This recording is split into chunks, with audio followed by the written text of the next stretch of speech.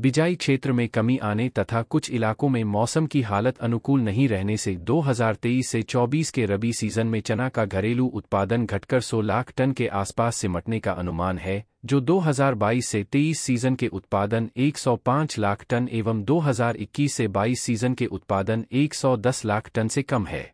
इससे पूर्व 2020 से 21 के सीज़न में 105 लाख टन चना का उत्पादन आका गया था।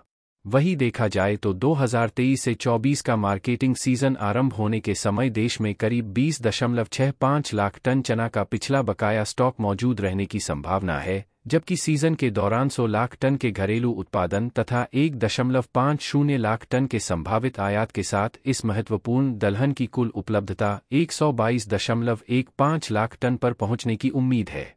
इसमें से 105 लाख टन का उपयोग घरेलू प्रभाग में होने की संभावना है जबकि लगभग पचास हज़ार टन चना का देश से निर्यात हो सकता है। इसके बाद 2023 से 24 के मार्केटिंग सीज़न के अंत में 16.65 लाख टन चना का अधिशेष स्टॉक मौजूद रह सकता है।